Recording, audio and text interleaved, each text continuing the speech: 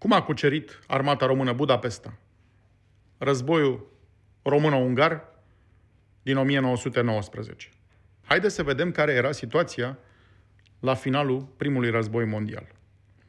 Cu toată intervenția energică a primului ministru Ion Ice Brătianu la conferința de pace de la Versailles, Consiliul Militar Interaliat a stabilit ca linie de demarcație între trupele românești și cele ungurești un aliniament care urma linia de cale ferată satul mare Oradea-Arad, fără a permite trupele românești să intre în aceste orașe.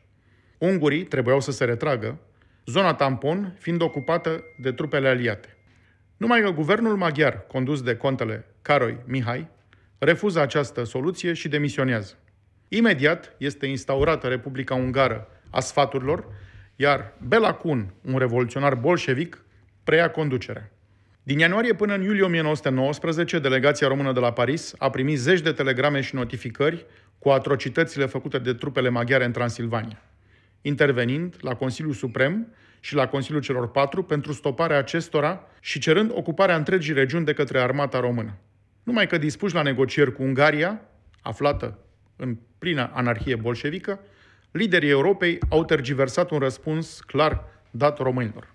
Cu toate acestea, Comandamentul Suprem Interaliat a luat decizia de a modifica linia de demarcație română-ungară în martie 1919, permițând trupelor române să înainteze până la noua zonă de demarcație pe aliniamentul munților Apuseni, dar trupele ungare, atinse de aripa Revoluției bolșevice, s-au opus în mod armat schimbării linii de demarcații hotărâtă la Paris.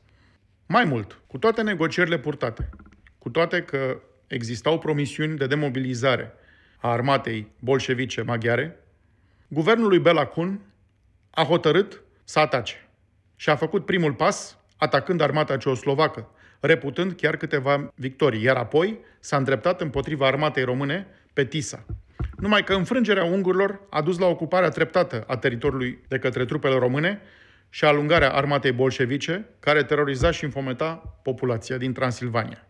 Primele lupte între armata română și armata bolșevică au avut loc în noaptea de 15 spre 16 aprilie 1919, când armata lui Bela Kun a atacat avamposturile armatei române, provocând începutul conflictului. Au urmat două săptămâni de lupte grele, timp în care trupele române au ajuns pe malul stâng al Tisei, recucerind, cu pierderi mari umane, teritoriul ocupat de armata bolșevică maghiară. La 1 mai 1919, armata română a ajuns pe Tisa, România fiind somată de către Consiliul Suprem Interaliat să nu treacă râul și să nu pătrundă pe teritoriul Ungariei.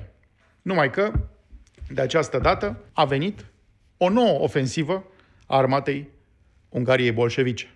În 26 iunie 1919, guvernul Bela Kun a declarat mobilizare generală și sub pretextul că armata română nu s-a demobilizat, a pregătit atacul de pe Tisa. Încă un conflict care de fapt avea să ducă la finalul Ungariei bolșevice. Cunoscând pregătirile făcute de unguri, comandamentul armatei române a grupat pe frontul de Petisa cele mai bune divizii de care dispunea la acel moment. Ofensiva ungară era legată, prin planuri de luptă, cu alte două acțiuni militare de amploare, susținute de Rusia sovietică și de ucrainienii care erau și ei bolșevizați, având loc chiar o încercare de pătrundere pe teritoriul României finalizată însă prin respingerea inamicului la Tighina. Concepția Marelui Cartier General Român era o acțiune hotărătoare, o lovitură hotărătoare, cu grosul forțelor în centru, între Some și Crișu repede, pentru a respinge forțele inamice și pentru a le da peste cap apărarea. O acțiune secundară avea loc pe Valea Crișului Alb și Negru, care avea drept scop fixarea inamicului și blocarea lui în a-și deplasa ajutoare către sectorul vizat de rupere prin ofensiva armatei române. Atacul armatei lui Belacun s-a produs la 20 iulie 1919, pe întreaga lungime a liniei de demarcație, până la Oradea Mare, însă a întâmpinat rezistența armatei române.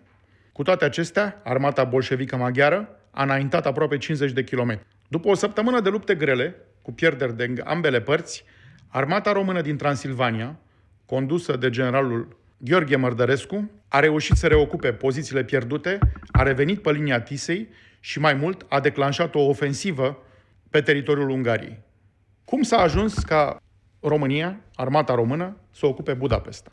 În cadrul acestei ofensive, având în față o armată maghiară debusolată, Brigada 4 de Cavalerie, sub comanda generalului Gheorghe Rusescu, a fost prima unitate a armatei române care a intrat în Budapesta la 3 august 1919. Cu toate acestea, istoria consemnează data de 4 august, când a avut loc prima defilare oficială a armatei române, în capitala Ungariei. Atunci, în fața întregului oraș și defilând pe bulevardul Andrași, sub privirile generalului Gheorghe Mărdărescu și a generalului Holban, comandantul celuilalt grup al armatei române, întregul efectiv de soldați români a defilat prin Budapesta. Ulterior, generalul Holban a fost numit guvernator al Budapestei. Dar haideți să mai lămurim un lucru. Cum a ajuns Opinca în vârful Parlamentului din Budapesta? Nu este o legendă, este chiar un fapt istoric. Imediat după ocuparea Budapestei de către români, Palatul Parlamentului Maghiar a fost pus sub paza unui pluton de vânători. Șeful gărzii de la intrarea principală era sergentul Iordan, un oltean din Craiova, potrivit de stat, negru, uscat și foarte vioi, așa cum îl descriau camarazii. Deasupra palatului, Parlamentului Maghiar, sergentul Iordan a văzut cum fâlfâie în vânt steagul unguresc, roșu-alb-verde. Acest fapt l-a supărat și a dat o idee. Dându-și capela pe ceafă și scărpinându-se după ureche și a zis Ia să dă jos steagul unguresc și să pun fanionul de la companie. Chemându-l pe căprarul Bivolaru, împreună s-au suit pe acoperișul Parlamentului Maghiar și au coborât steagul din vârful catardului și apoi, luând o pinca căprarului, a pus-o drept streajă în vârful catargului, lăsându-i nojițele să atârne în vânt. Și uite așa a fâlfâit, multă vreme, în cerul Budapestei, o pinca românească.